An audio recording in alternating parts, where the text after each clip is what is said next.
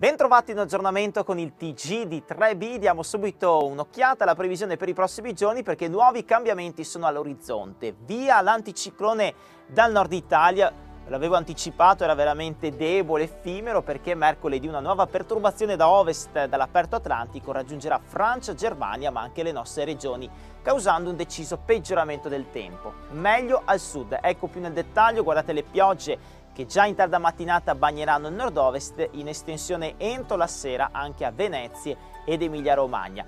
Inizialmente buono il centro-sud, peggiora però sulla Toscana e poi Alto Lazio, Umbria durante la serata con qualche debole fenomeno.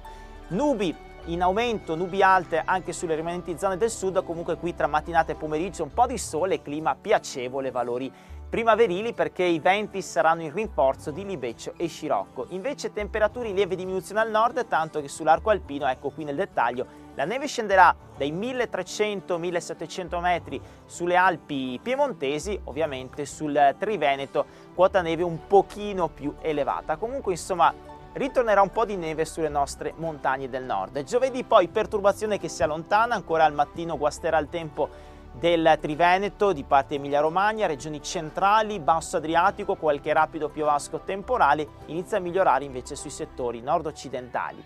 E in sintesi, il fine settimana, vi dicevo, l'anticiclone in questo periodo non è molto forte sul Mediterraneo. Si sposterà con i suoi massimi nuovamente verso nord, verso le isole britanniche, favorirà la discesa di una massa d'aria fredda per il periodo dalla Scandinavia verso i Balcani, ma un fronte freddo potrebbe valicare l'arco alpino e apportare un po' di instabilità su parte del centro-sud ed il nord-est. Ne riparleremo intanto i dettagli come sempre sul nostro sito web.